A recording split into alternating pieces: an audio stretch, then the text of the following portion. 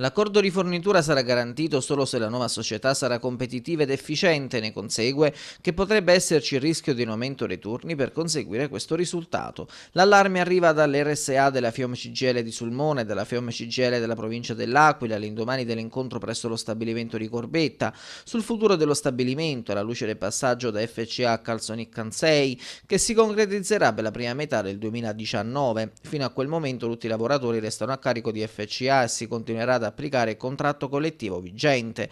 L'azienda rimarca l'importanza del mantenimento di livelli occupazionali legati all'accordo di fornitura pluriennale con FCA. Tuttavia, rispetto a quest'ultimo impegno, alla nostra precisa domanda, l'azienda ha specificato che la durata pluriennale sarà fino a tutto il 2022, ma a parità di condizioni di mercato con i concorrenti, fanno sapere dalla FIOM, spiegando che l'accordo di fornitura sarà garantito solo se la nuova società sarà competitiva ed efficiente.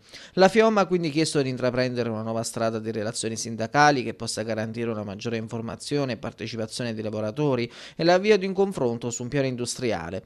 In attesa di un reale piano industriale e di ulteriori dettagli riguardanti la vicenda, continuiamo a mantenere la nostra cautela in merito ai presunti vantaggi di tale operazione ed eventuali ricadute che potrebbero esserci nel nostro stabilimento, concludono dal sindacato. Una di queste, proprio alla luce della competitività da conseguire, potrebbe essere l'aumento dei turni non nell'immediato ovviamente, un rischio che impone alla FIOM di mantenere alta l'attenzione, come fatto finora.